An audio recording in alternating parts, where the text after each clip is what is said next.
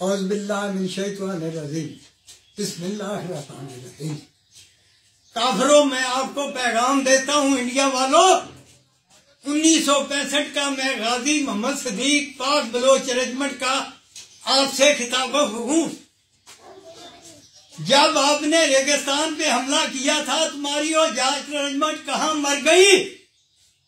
ان غازیوں نے مونا بعد آدھے گھنٹے میں فتح کیا تھا۔